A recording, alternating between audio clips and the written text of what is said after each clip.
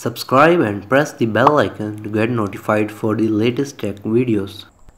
Hey what's up YouTube this is Wasay here and today in this video I'm going to show you how you can use your Sony a6400 camera as a secondary camera or a primary camera when you're live streaming a game or anything so you have seen streamers that they showcase their uh, gameplay and on the lower right or anywhere they have their themselves shown through a camera. So you can use any camera webcam or you can use your DSLRs or your Sony camera. So in this video I'm going to show you how you can use your Sony cameras when live streaming. So let's begin the video.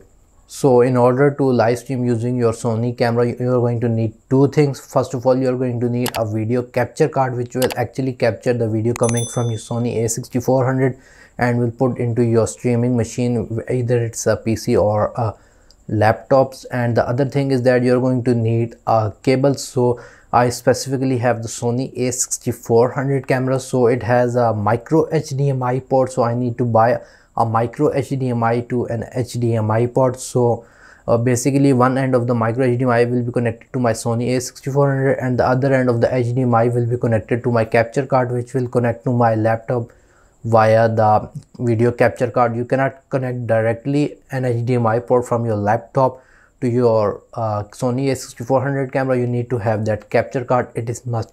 Anyway uh, different Sony cameras have different HDMI ports so you need to look into the manual or the internet whichever port your Sony camera supports. Again my Sony a6400 supports the micro HDMI cable so I bought the micro HDMI to HDMI uh, cable or converter.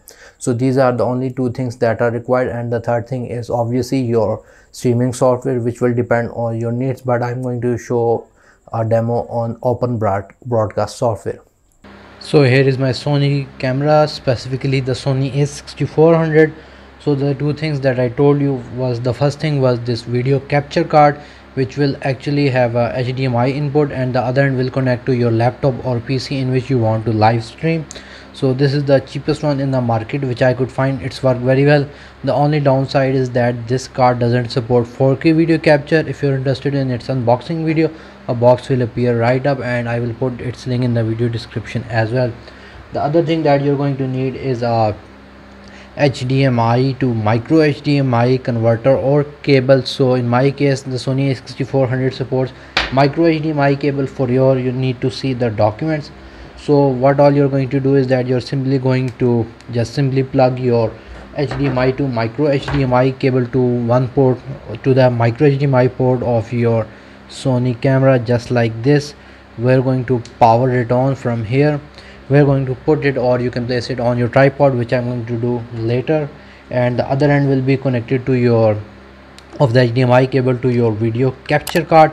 And this end will connect to our PC so I'm going to connect it to my laptop and I will show you what next thing that you need to do in order to start live stream from your uh, Sony camera.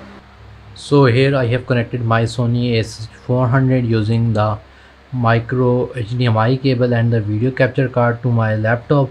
So in order to capture your Sony a6400 footage to live stream you need to need you need to have some kind of software. So I'm using OBS Studio or Open Broadcast software. You can download from OBS website. It's completely free.